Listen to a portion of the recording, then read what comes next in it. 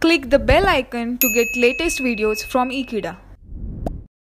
Hello friends, we have seen till now how to do heat transfer analysis in case of Cartesian coordinates, polar coordinates and spherical coordinates. Now in all those cases we did not consider heat generation. Now let us do analysis with heat generation.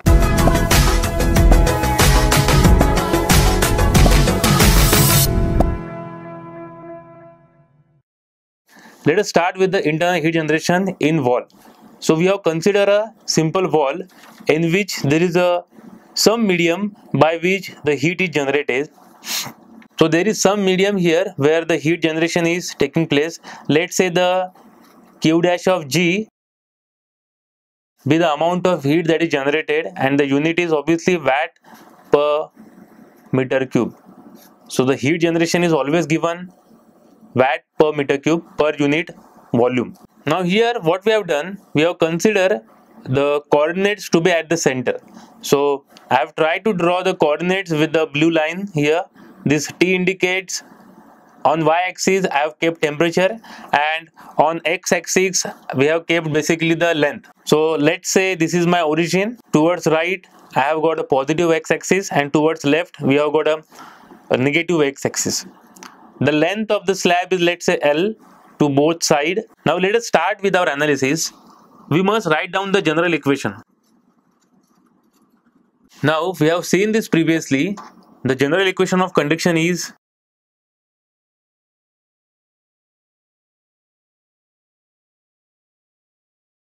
Now by this time all of you must be aware of this equation. This is nothing but Fourier's equation for heat conduction in three dimensions. Now in this we will write down my assumptions in our case. So my assumptions are first only one dimensional heat transfer second steady state heat transfer third one is thermal conductivity of material is constant so with these assumptions we are going to left with this equation as so because of first assumption these two term will get vanishes. And because of second assumption this term will get vanishes. Now this is the general equation in our case. Now let us try to solve this equation. For that we need to integrate this twice. So let us start integrating it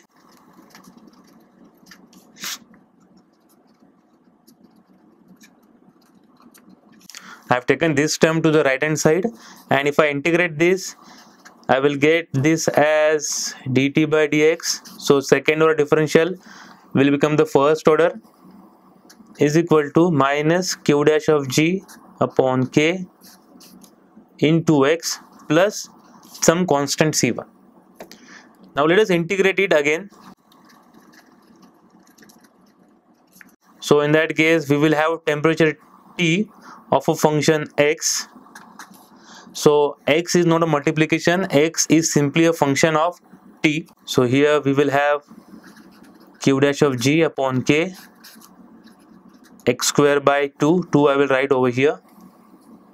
Plus c1x plus c2 let me write this equation number 1 now we have got this equation. To solve this equation we must know the boundary condition. Now in our case we can go for three type of boundary conditions. We have previously seen in one of the video what are the types of boundary condition and initial conditions. So out of that we will consider the two boundary conditions. Let me list down the boundary conditions that we can consider. First one when when the sides of wall is having fixed temperature. So mathematically we can write this as when x is equal to positive L we can write down T is equal to let's say TW1 and at x is equal to negative L. So this you can consider for the right side and this you can consider for the left side so t is equal to some constant temperature tw2 so basically tw1 and tw2s are constants. So if this is the case then we can solve our equation with these two boundary conditions. The second case is when one side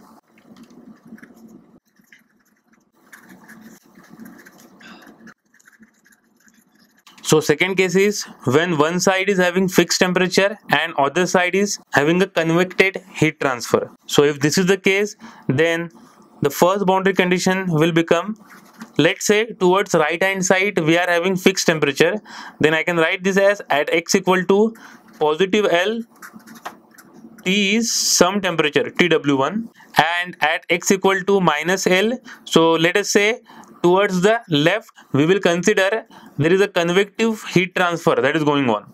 So if I want to draw a small diagram I can draw it here. Let's say here we are having some temperature TW1 there is a heat generation that is going on over here. And here the air is blowing with some temperature T infinity and heat transfer coefficient as H now in that case we can consider that whatever heat that is convected to one side is entirely conducted from the material. So the heat conduction towards this side is same as the heat convected. So mathematically we can write this by Fourier's law and Newton's law of cooling that is minus k a dt by dx at x equal to minus L is equal to h a t minus t infinity. Again when x equal to minus l. So this will become my second boundary condition. We will later see how to solve a given problem with this but right now let us consider that these two are my boundary conditions. In the third case when one of the side is insulated and the other one is having some fixed temperature. So in this case let's say again some temperature TW1 is there towards the left and here there is the insulation of a given material. So if there is an insulation of a given material means what? There is no heat transfer towards this or what we can say is the dt by dx is 0.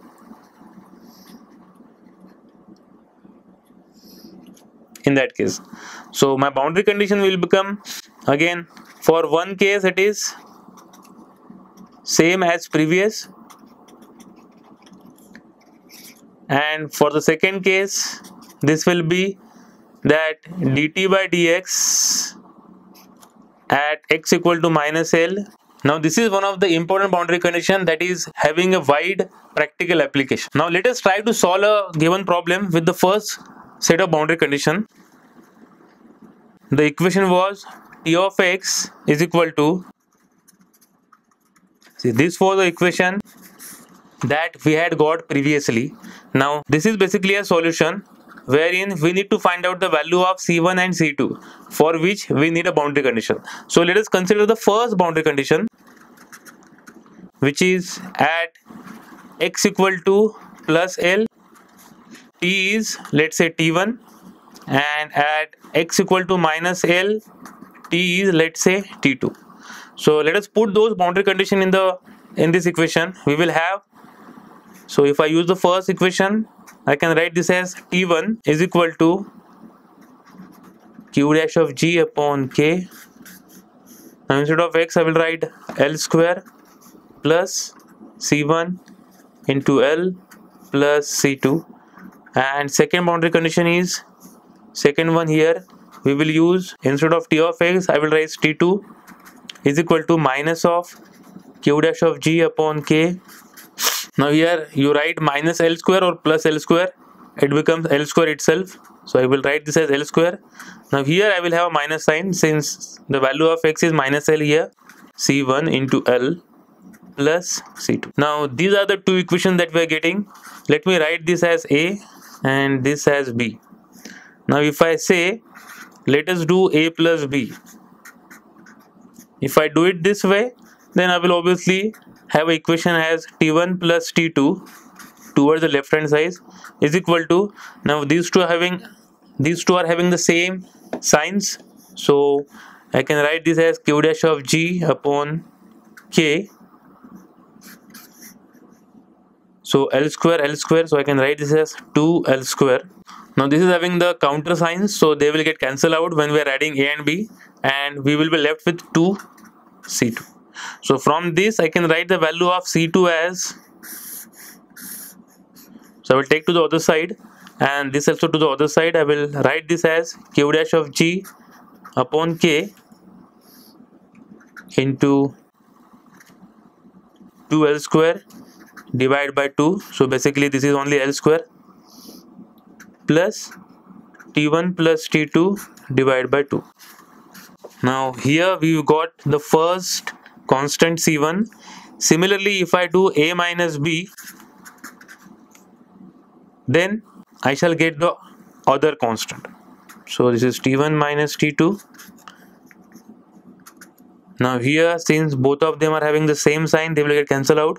And here we can write this as c1 l minus minus plus so that is 2l and again c2 is getting cancelled out so with this we can get the value of c1 as t1 minus t2 upon 2l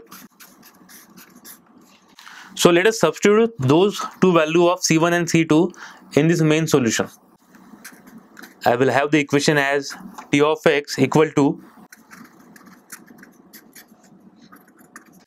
now let us put the value of C1 that is T1 minus T2 upon 2L into x. And now let us put the value of C2 now if I rearrange the terms I shall get my final equation as see here these two term I will club and this as a constant I will write at the end. So I will get the value as q dash of g upon k now there is a positive sign over here there is a negative sign here so I can write this as L square minus x square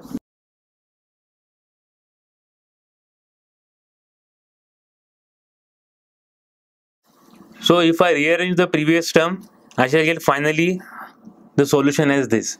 Tx equal to q dash of g upon k L square minus x square plus t1 minus t2 upon 2l into x plus t1 plus t2 upon 2.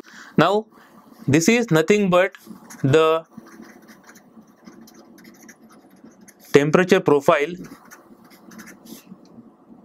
in our case. Now here one thing that you need to understand that is the power of x. The power of x is 2 so here the profile is always quadratic in nature.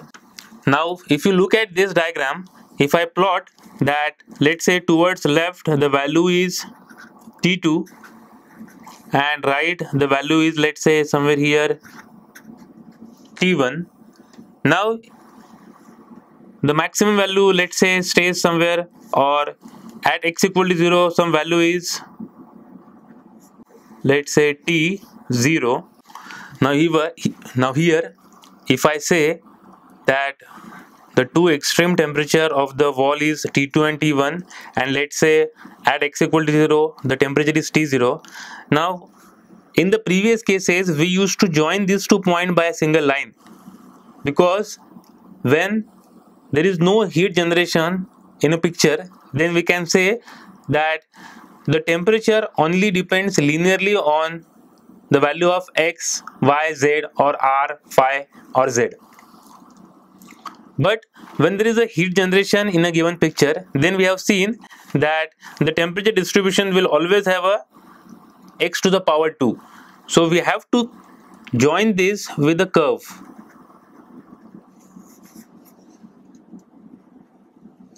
so this will be my temperature profile in this case now here if I say that the two wall temperatures are same that is T1 and T2 they are same as some TW in that case my temperature profile will look like this.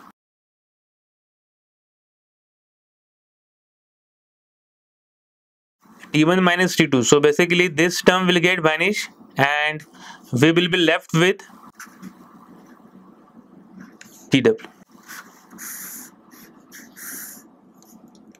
now once I get the value of temperature distribution I can find the heat transfer rate by Fourier's law which is q dash is equal to minus ka dt by dx so the dt by dx we will have to simply differentiate this term. Then we can write this as minus q dash of g upon k into 2x in this previous equation we missed the 2 term over here. So obviously these 2 will get vanish and if I want to replace the dt by dx in this equation we can write q dash as minus k a into x. Similarly, to find T max, we will put this equation to 0 and then you will see that if I put this equation to 0, the T max will always occur at x equal to 0 so now if I put the value of x equal to 0 in this equation then the T max will come as TW plus Q dash of G upon 2K into L square. So if I put the value of x of x equal to 0 in this equation of the temperature distribution then I shall get the T max as TW plus this term here the x will get vanish and only left is L square. So basically TW plus Q dash of G upon 2K into L square. Now previously we have seen the first boundary condition. Now let us look at the second boundary condition. The second boundary condition we had that is at x equal to 0. Now let us consider the second boundary condition. Before this if I want to draw a diagram, small diagram for the second boundary condition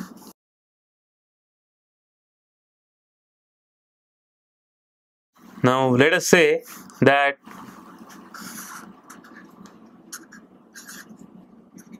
these are my axes. Then at x equal to 0 if I say that this side is insulated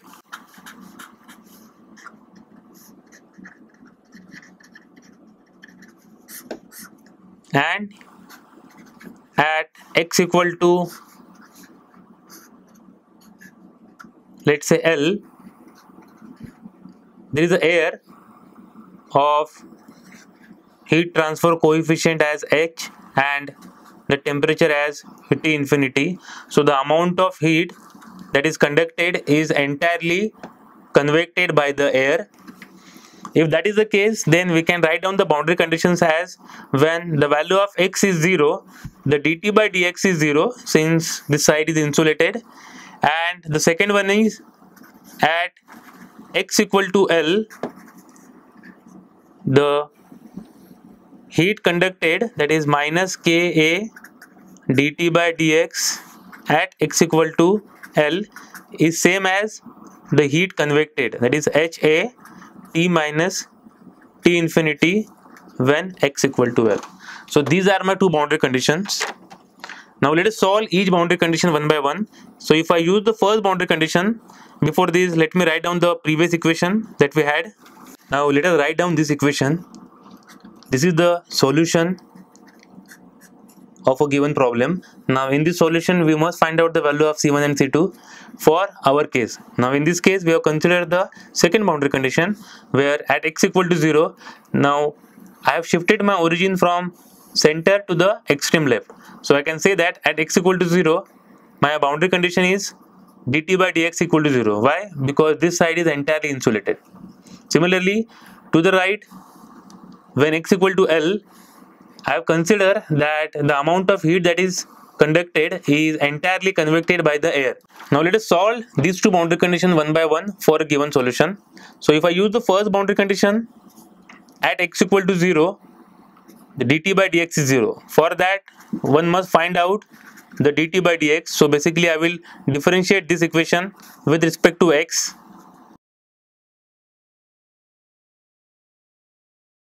So if I put dt by dx as 0 at x equal to 0 so I can conclude with this boundary condition I can get c1 as 0 so with the first boundary condition we can conclude that we are getting c1 as 0 now let us go for the second boundary condition. So this is minus ka. I will write the value of dt by dx as the same minus q dash of g upon k. Now instead of x I must write down L because we are writing it for x equal to L is equal to HA now the value of t we will write this value over here. So what is the value of t of x? So this is t of x basically. I can write this as q dash of g upon k instead of x again I will substitute L square divided by 2 c1 is already 0 so what is left is c2 so this minus t infinity. So this is the equation that we have. We can solve this. We can simplify it.